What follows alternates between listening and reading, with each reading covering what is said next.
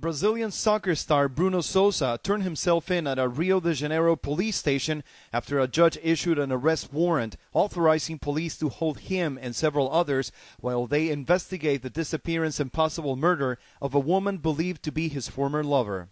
The victim, Eliza Samudio, claimed the 25 year old athlete fathered her four month old son. As police search for a body, the case made national headlines again this week after police say Souza's 17 year old cousin confessed to being involved in the crime, providing gruesome details of the murder. My heart is in a hundred pieces. I'm feeling very bad, said the mother of the 25 year old victim. Souza has repeatedly denied the accusations against him in appearances before the media.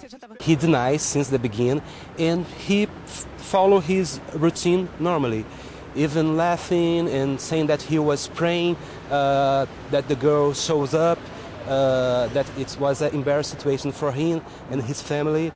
Souza is married with two children. His attorney could not be reached for comment after his arrest. One of the most recognizable faces in the Brazilian Football League, Souza was the captain of his team, Flamengo, the current national champion.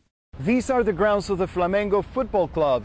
This is where Bruno Souza trained with the team, but ever since the story gained widespread publicity, he stopped participating in any events or matches and trained alone. The case captured the country's attention just days after Brazil was eliminated from the World Cup. If charged and convicted of murder, Souza would face a maximum 30 year term. There is no death penalty in Brazil. Rafael Romo, CNN, Rio de Janeiro.